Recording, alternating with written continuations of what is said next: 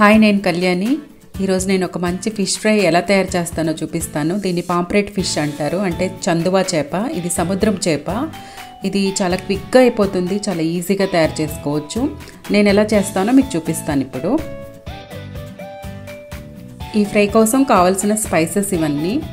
So first fish చూద్దాము. ఈ ఫిష్ని మేము హోల్ ఫిష్ అలాగే ఉంచేసాము. అంటే మధ్యలోకి హాఫ్గా డివైడ్ చేయలేదు. ఎందుకంటే ఇలా అయితే మా పిల్లలు ఇష్టపడతారు సో అందుకని అలాగే ఉంచాము. మీకు కావాలనుకుంటే హాఫ్గా కట్ చేపించుకోవచ్చు.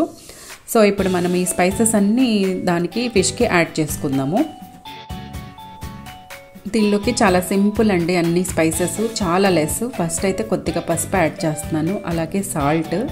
ఆ తర్వాత కొంచెం జీరా పౌడర్ యాడ్ చేశాను. ఆ తర్వాత కారము అంటే ప్లెయిన్ కారం యాడ్ చేశాను. ఆ తర్వాత గరం మసాలా. అండ్ ధనియాల పౌడర్ కొంచెం. అలాగే ఆ తర్వాత కొంచెం కూర కారం ఉంటుంది కదా కర్రీ పౌడర్ అదే వేసాను. తర్వాత కొంచెం జింజర్ గార్లిక్ పేస్ట్ యాడ్ చేశాను. సో తర్వాత కొంచెం కొత్తిమీర యాడ్ చేశాను ఇవేను.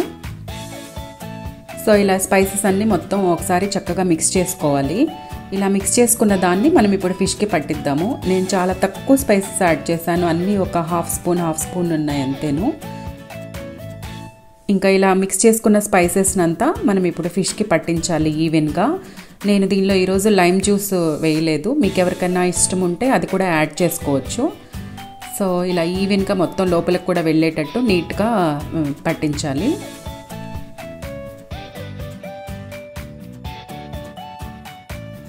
ఇలా ఈవెన్గా మసాలాలన్నీ స్ప్రెడ్ చేసుకున్న తర్వాత ఒక వన్ అవర్ దాన్ని వదిలేస్తే చక్కగా సెటిల్ అయిపోతుంది. సో తర్వాత దాన్ని ఫ్రై చేసుకుందాము. నీట్గా మొత్తం అంతా స్ప్రెడ్ చేసుకోవాలి. ఇంకా ఈరోజు ఈ ఫ్రై కోసం నేను క్యాస్ట్ ఐరన్ ప్యాన్ తీసుకున్నాను. దీనికి నూనె యాడ్ చేసిన తర్వాత ఇలా ఫిష్ని వేసుకోవాలి.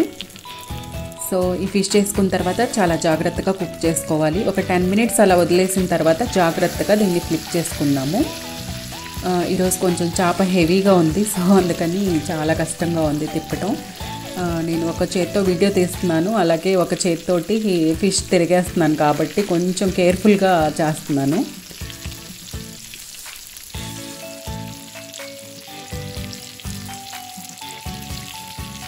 చేపని ఫ్రై చేసుకునేటప్పుడు మనం ఎక్కువ సార్లు టర్న్ చేసుకోకూడదండి. జస్ట్ ఒక టెన్ మినిట్స్ యువతల వైపు అవతల భాగాన్ని కూడా అలాగే ఒక టెన్ మినిట్స్ అయితే సరిపోతుంది ఈవెన్గా కుక్ అయిపోద్ది.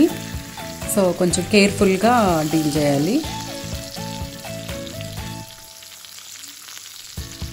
ఈరోజు చేపలు కొంచెం పెద్ద సైజు ఉన్నాయి కాబట్టి నాకు కొంచెం టైం ఎక్కువ పట్టింది. మామూలుగా అయితే ట్వంటీ మినిట్స్లో అయిపోతుంది. ఈ ఫిష్ ఇంకా సాంబారు రసం ఎలా తిన్నా బాగుంటుంది. మేమైతే డిన్నర్ లాగా లెట్యూస్తో పాటు తినేస్తాము సలాడ్ తీసుకొని. చూసారు కదండి చందువా ఫ్రై? చాలా తక్కువ స్పైసెస్ యాడ్ చేశాను నేను. ఇది చాలా టేస్టీ ఫిష్. తప్పకుండా మీ అందరు కూడా ట్రై చేయండి నా రెసిపీని. And please like share and subscribe to my channel thank you so much enjoy my recipes